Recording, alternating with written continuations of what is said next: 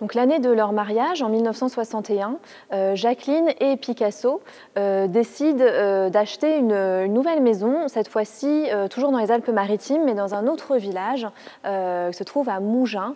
ils vont acheter donc un grand mât qui s'appelle Notre-Dame de Vie, et cette demeure va être la dernière demeure de Pablo Picasso puisqu'il va décéder en 1973. Ce nouveau lieu va devenir le dernier atelier de Pablo Picasso, qui va continuer à réaliser des, centaines de euh, notamment sur des formats de plus en plus grands. Euh, donc à ce moment-là, Picasso a quasiment 90 ans euh, et il le peint dans une sorte d'urgence.